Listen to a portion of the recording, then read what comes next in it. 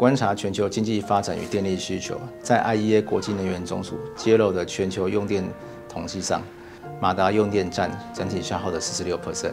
其中工业马达又占整体马达能源消耗的八十六 percent。在环保节能议题下，节能技术技术发展除了在照明技术及法规要求转向 LED 发展外，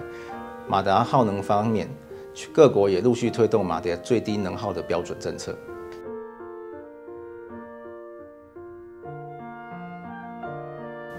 依据 IEA 国际能源总署研究，提升马达系统效率改善方式概分为两类。第一个，将传统的感应马达提升材料等级，更换为直流无刷马达，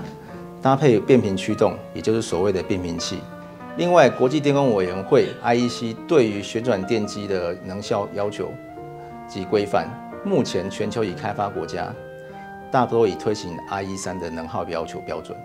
未来走向 IE 四甚至 IE 五势在必行，那需要仰赖变频控制技术的进步，以及传统感应马达更换为直流无刷马达，才能达成更好的能效要求。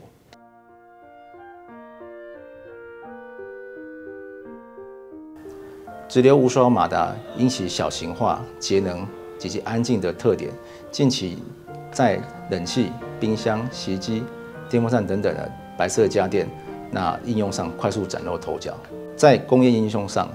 小型化、高转距特点，在手持电动工具、那自主移动机器人、温室、通风、抽水加压等领域也逐渐占有一席之地。另外，在潜力市场的应用，医疗产业有着对于直流马达高效率高、不易发烫、耐用性的特点，虽然单价偏高，但是医疗领域偏重于实际应用，可应用医疗推车、离心拱。或诊断分析等等，呃，应用。简单来说，随着驱动技术的演进，中低阶感测器材的普及，高性能的呃原材料的普及，各领域应用越来越广泛，那市场的趋势持续发展是可以期待的。